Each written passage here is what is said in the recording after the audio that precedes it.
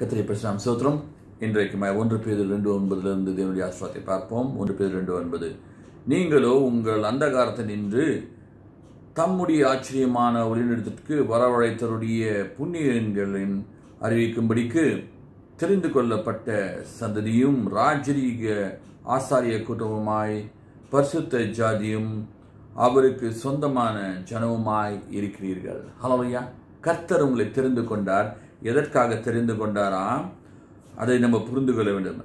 உங்களை தெரிந்து கொள்ளப்பட்ட சந்ததியாய் ஹலோயா எ சோசன் ஜெனரேஷன் கொடுக்கும். நீங்கள் தெரிந்து கொள்ளப்பட்டவர்கள். அலரியா ரெண்டாவதாக ராஜரீக ஆசிரிய கூட்டம். எல்லாருமே ஆசிரியர் பாஸ்டர்ஸ் மாத்திரம் கிடையாது. மனை ப புருஷன் தலைவர் வீட்டு தலைவர் வீட்டு தலைவி வீட்டுக்கு ஆசாரியன். வேலையில் ஆஃபீஸில் நீங்கள் தான் ஆசாரியர். மூன்றாவதாக பார்க்கும்போது பரிசுத்த ஜாதி. நீங்கள் பரிசுத்த ஜாதி அசுத்த ஜாதியில் அல்லது சாதாரண ஜாதியில் பரிசுத்த ஜாதி. உலகத்தான் அவன் பேசிட்டு போவான். ஆனால் நீங்கள் பரிசுத்த ஜாதி என்பதை நினைவு கூறுங்கள். அடுத்ததாக பார்க்கும்போது அவருக்கு சொந்தமான ஜனம். ஸோ நீங்கள் அவருக்கு சொந்தமான ஒரு பிசாசு வந்து யாரை வந்து எதுவும் வந்து வந்து தொட முடியாது. ஹலோ ஐயா அதனால் அதை புரிந்து கொள்வோம் அதனால் கர்த்தருக்கு நீங்கள் சொந்தமானவங்க பரிசுத்தமானவங்க தெரிந்து கொள்ளப்பட்டவங்க.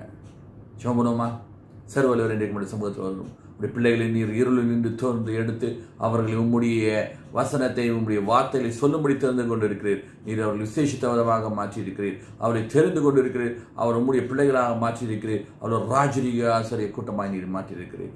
காரணம் துதிக்கிறோம் போட்டுக்கிறோம் அது முடிமறைத்து காத்து எங்கே போகும்போது வரும்போதும் ஆஃபீஸில் வேலைக்கு எங்கே போனாலும் எந்த பிஸ்னஸ் என்ன செய்தாலும் எல்லாத்தையும் தம்மை கூட வந்து அவரை ஆசிரியத்து அவர் எல்லா இடத்துலையும் உடைய மேன்மைகளை சொல்லி வர அவருடைய கிருபையை கொடுத்து ஆசிரியத்து நடத்துகிறாங்க உம்முடைய பிரசனுடைய கிருபையாளோடு நாள் முழுதும் இந்த மாதம் முழுதும் அவர் ஆசிரியத்தை நடத்துவதாக. வியாழுக்களை ஒப்புடுக்கிறோம் நாண்டுகளும் ஏசுவின் நாமத்தில் கேட்கிறோம் பிதாவே. ஆமேன் ஆமேன். கர்த்தாமே உங்களை ஆஸ்வதிப்பாராக ஹalleluya